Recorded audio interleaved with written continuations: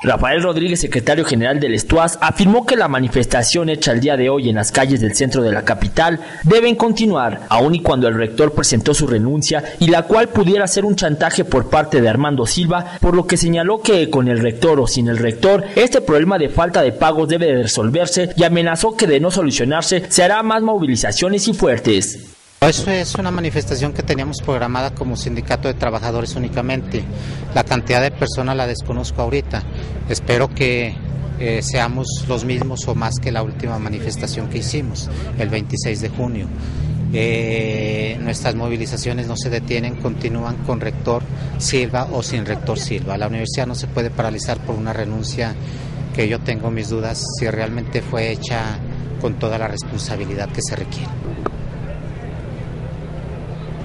Tiene que haber rector. Tiene que haber rector, sea Silva o sea otra persona. Alguien tiene que seguir conduciendo esta universidad eh, atinada o equivocadamente. Todavía la renuncia de Silva está en la mesa, no es aceptada. Pareciera ser que hay una, fuente, una fuerte corriente de opinión entre los consejeros universitarios de que no va a ser aceptada.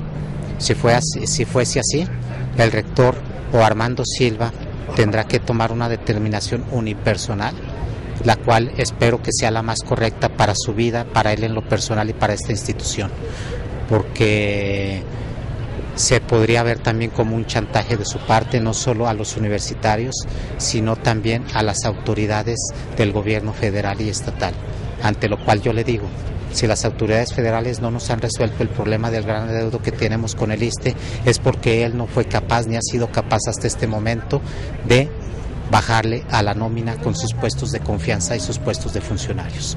El rector que llegue, esa va a seguir siendo nuestra exigencia para que nos puedan garantizar el pago de nuestra seguridad social. Mi objetivo no es Silva o no Silva, mi objetivo no es nadie de ellos.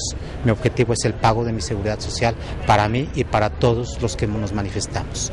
Pero si esto no se resuelve, estaremos llamando a una nueva movilización más fuerte, donde vamos a invitar a todos los compañeros que traigan a sus familias a manifestarse porque sus familias están en riesgo. Con imágenes de Alberto Hernández para B15 Noticias, Oscar Hernández.